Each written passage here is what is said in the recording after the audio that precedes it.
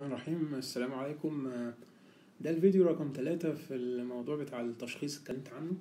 مش هيكون طويل هيكون قصير لأنه هو الفكرة اللي ناقصة فكرة قصيرة بالنسبة لموضوع ال hierarchy وأنا كنت اتكلمت فيها قبل كده فهحيلكم للجدول السابق فيديو قبل كده كنت اتكلمت فيه عن الموضوع ده. أنا عملت فيديوهين قبل كده. الفيديو الأولاني اتكلمت فيه عن الأفكار عن التشخيص والطريقة اللي هي الطريقة ال general medical اللي هو طريقة طبعا ال analysis of present complaint وبعد كده ال associated symptoms وبعد كده ال review of systems وال trans cutting symptoms الفيديو التاني اتكلمت على طريقة ال DSM 5 وإن إزاي هو بيشجع التشخيصات على قد ما تقدر بدون أي أثر على الخطة العلاجية أو أهمية التشخيص أو كده. ال DSM 5 واصف حاجات clinical presentations وهو بيقول كده وبيشجعك خد منها على قد ما تقدر. بغض النظر مين المهم ومين مش مهم مين ال principal ومين مش principal النهارده هتكلم على الطريقة الثالثه اللي ممكن تساعدنا في التشخيص وهي الطريقة الأوروبية ودي اللي بتكمن خلف ال ICD سواء ال ICD 10 أو ال 11 اللي مكتوب دلوقتي. الطريقة دي خلاصتها هو موضوع ال European hierarchy اللي كنت اتكلمت عنه قبل كده. راجعوا ليا فيديو اسمه diagnostic hierarchy وطبعا أي طريقة من دول هي غير متفق عليها وهي not evidence based هي مجموعة آراء خبراء زي الطريقة بتاعت ال DSM أو غيره يعني يعني مثلا طريقة ال DSM بتشجع قوي على ال comorbidities ولذلك لو أنت بتفكر DSM لازم تبقى مؤمن قوي بال comorbidities لأن كل مرض داخل في التاني وده بيجي مع ده وده بيجي مع ده وده بيجي مع ده.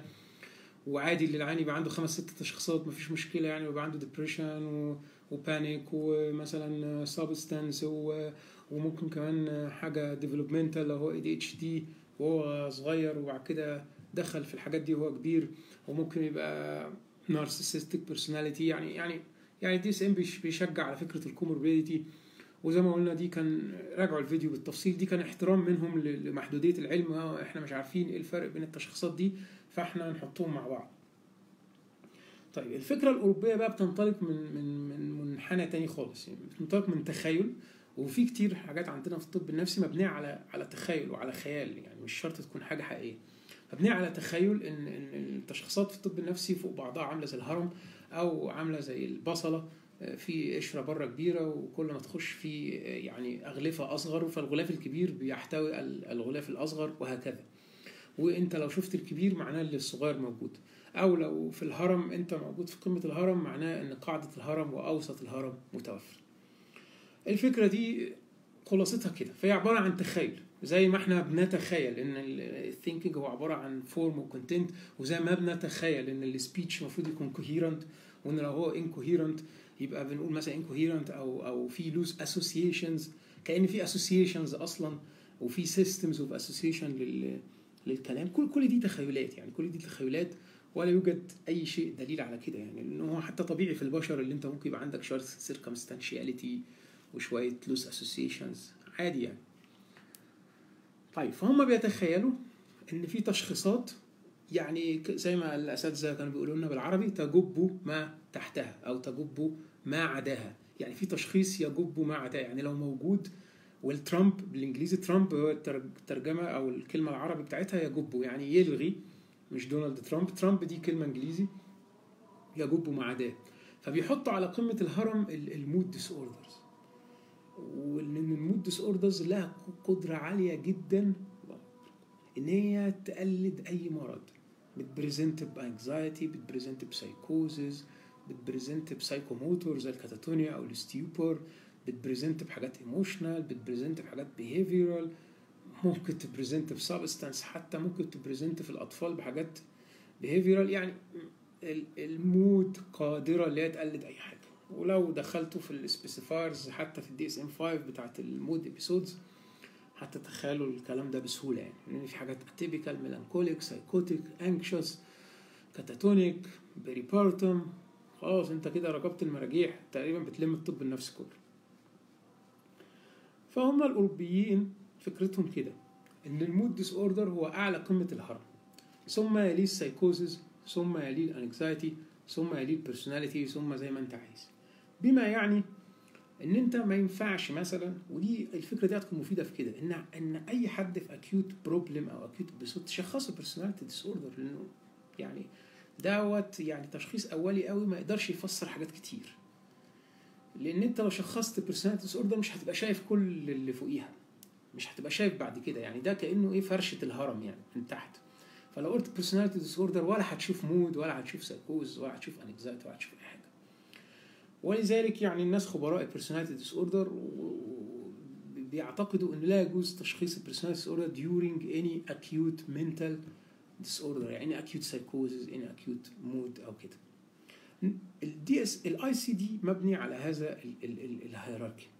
ومش شرط بالترتيب بس هو مبني على الفكرة دي. إن الترتيب في ال ICD سواء في ال ICD 10 أو في ال ICD 11 الترتيب مقصود وليه معنى. إن هو بيبتدي بالأول بالحاجات ال organic وبعد كده بال substance وبعد كده بالسايكوزز وبعد كده بال mood وبعد كده بال anxiety وبعد كده بالحاجات ال development ال personality الأول وبعد كده بالحاجات ال development ده ترتيب ال ICD الترتيب بتاع ال DSM سواء في ال DSM 4 أو في ال DSM 5 مش مقصود يعني ملوش معنى. هم حتى معلقين كده إن ترتيب الفصول إحنا مش قاصدين بيه حاجة. إحنا مجمعين بس الحاجات اللي عايزين نوصفها وبنوصفها. يعني مثلا في ال DSM 5 الترتيب بتاع الفصول لا يعني أي شيء. ولكن جوه الفصل هم واخدين عهد على نفسهم زي ما ذكروا في المقدمة يمسكوا الفصل developmental يعني مثلا لو دخلت جوه الفصل بتاع ال depressive disorder هتلاقي من أول الطفولة لغاية الكبير. هتلاقي مثلا اللي هو ال disruptive dysphoric mood disorder اللي واصفينه دوت اللي هو زمان كان اسمه depressive conduct في ال ICD 10 هو مش جديد ولا حاجة زي ما الناس فاكرة يعني. هم بس بيحاولوا يطلعوا بعض المرضى ال bipolar كده لوحدهم عشان إيه؟ ما يبقاش فيه يعني stigma عليهم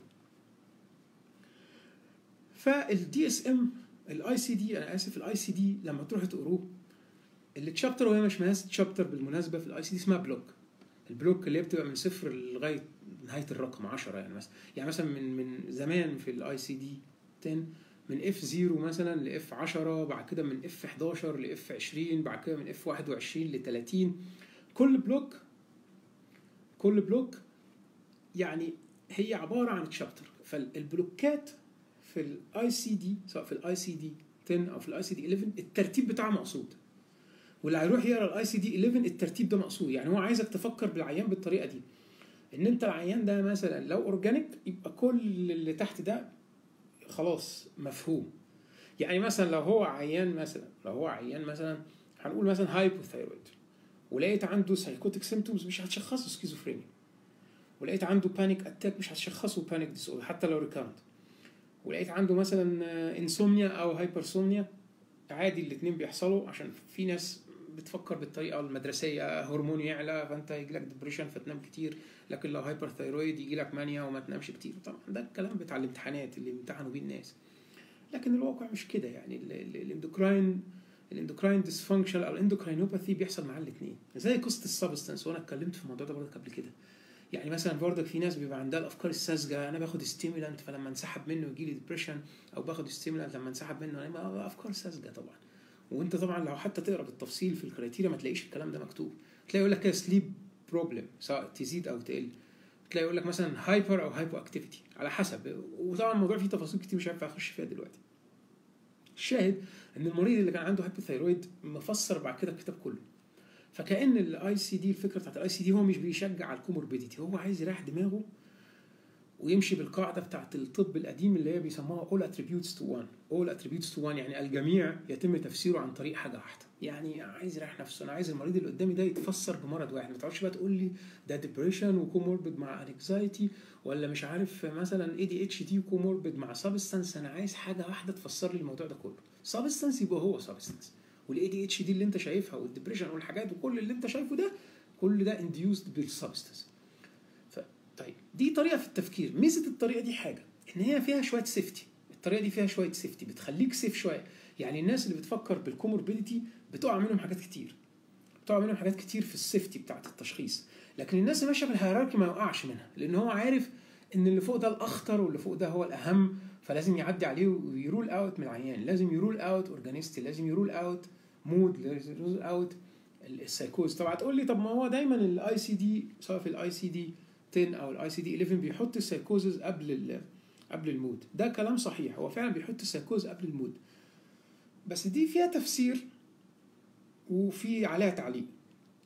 التفسير إن بالفعل السايكوز هو أخطر من ال mood. أخطر سواء من ناحية ال aggression أخطر من ناحية ال functional disability أكتر من ناحية ال prognosis ولازم تتدخل بدري لازم تتدخل بسرعة. وكل الأبحاث أنتوا عارفين دلوقتي على ال DUP اللي هو duration of untreated psychosis. ال DUP بيحاولوا يقللوا ال DUP على قد ما يقدروا التعليق إن ال WHO في سنة حاجة 90 96 97 نزلت ال ICD 10 symptom checker وده دايما أنا بنبه الناس ليه وليا slide مشهورة كده كنت دايما بشرحها في العباسية بوريها لهم. في ال ICD 10 symptom checker هو حاطط ال mood وال psychosis الاثنين مع بعض. إن أنت لما العيان ي present ب mood symptoms أو عيان ي present ب psychotic symptoms لازم تفكر في الاثنين مع بعض. فهو حاطط الاثنين في نفس الدرجة فرغم اللي هو مرتبهم في الفصول ورا بعض لكن هو بيعتبرهم في نفس المرتبة. وطبعا أي حد فيكم بيحضر مرورات سواء في المستشفيات أو في الجامعة أو كده هيلاقي الخناقة دي موجودة طول العمر ولن تنتهي. هل المريض ده psychotic ولا المريض ده mood disorder طبعا ما حدش بيقدر يجاوب الإجابة دي. ولا أنا ولا أنت ولا أي حد. لازم follow up ولازم معلومات ولازم متابعة ولازم course ولازم العيان ده يقعد معانا ولازم نقابل أهله. لأن مش هنقدر نفرق cross sectional كده بين هل ده primary psychotic disorder سواء كان schizophrenia brief psychotic ولا هو mood disorder مش هنقدر. mood disorder وال psychotic symptom سواء mood congruent أو mood incongruent مش هنقدر. بقى في بعض الناس بتخش داخلة بقى بتاعت الكتب يقول لك لا أصل ال psychotic disorder مش عارف ال affect بيبقى إيه وال mood disorder ال affect بيبقى إيه و... طبعا ده كلام غير علمي غير واقعي غير عملي. اولا الكلام ده مش موجود في الكتاب اولا. يعني أنت لو رحت قريت في ال criteria سواء في ال ICD أو ال DSM هتلاقي بمنتهى الوضوح. واصف الاثنين زي بعض ويقول لك دي ت exc... لازم ت exclude دي قبل ما تشخص دي وت... ولما يروح في الحتة الثانية يقول لك ت exclude دي قبل ما تشخص دي.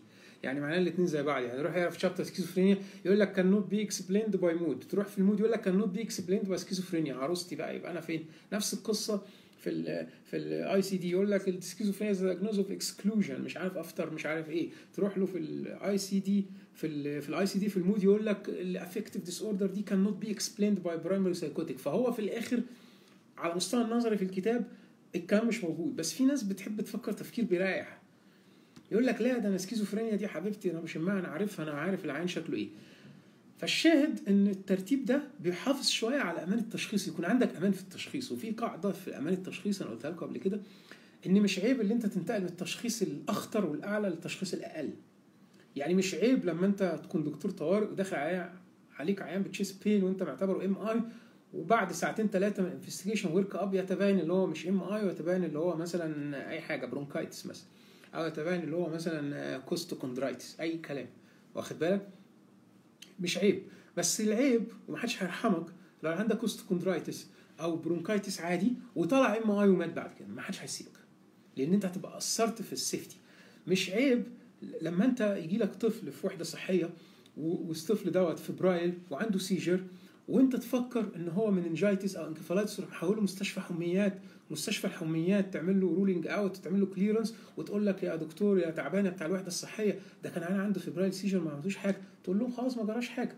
لكن هيبقى عيب أكتر لو انت قلت لوالدته ده febrile seizure وروحي ويموت في البيت بقى من meningitis فمش عيب مش عيب لما انت هتقول على العيان ده سكيزوفرينيا أو bipolar وبعد ما تتابعه سواء شهر أو اتنين أو تلاتة تقول الحمد لله ده ولا عنده كده ولا عنده كده ده كان stress reaction وكانت حاجة adjustment مثلا disorder أو مثلا brief مثلا substance related أو مثلا حاجة مثلا مثلا hypo أو hyperthyroid أو مثلا حاجة مثلا hypocalcemic يعني يعني مش عيب اللي أنت تنتقل للمرحلة الأقل لكن العيب اللي أنت هتروح تعلى اللي أنت تروح مشخص العيان panic disorder وبعد ست شهور من المتابعة تكتشف اللي هو سكيزوفرينيا هيبقى عيب قوي إن أنت تشخص العيان اللي هو ADHD وبعد مثلا سنة من المتابعة تكتشف اللي هو bipolar هيبقى عيب برضك إن أنت تشخص adolescent borderline personality disorder وبعد ما خمس ست سنين متابعه نكتشف اللي هو borderline bipolar disorder هيبقى عيب لأن أنت هتبقى ضيعت عليه سنين من العلاج وسنين من التشخيص واديته stigma اللي هو borderline وهو مش borderline أصلا. فعشان كده ال hierarchy ده بيحفظ نوع شوية من الأمان. أرجع وألخص. ال hierarchy مش evidence based دي طريقة الأوروبيين بيحافظوا عليها جوه ال ICD ال ICD 11 حتى الآن مترتب بنفس الطريقة. الترتيب بتاعه مقصود بيحط ال organic substance psychosis مع mood زي ما قلنا عن طريق ICD symptom checker ال symptom checker هو اللي باين لنا الاثنين في نفس الدرجة. بعد كده بيحط anxiety بعد كده بيحط ال personality وبعد كده بيسيب ال developmental لوحده في الآخر. الترتيب ده مقصود. الترتيب ده مقصود. الترتيب في ال DSM مش مقصود. يعني دي الطريقة بتاعه التشخيص. فراجعوا مع الفيديو بتاع ال hierarchy فال hierarchy هيخليك وانت قاعد مع العيان بتفكر في الحاجات الكبيرة الأول وبعد كده تنزل واحدة واحدة. وبس في طرق تانية لسه في التشخيص هتكلم عنها إن شاء الله في الفيديوهات اللي بعد كده. شكرا لكم السلام عليكم.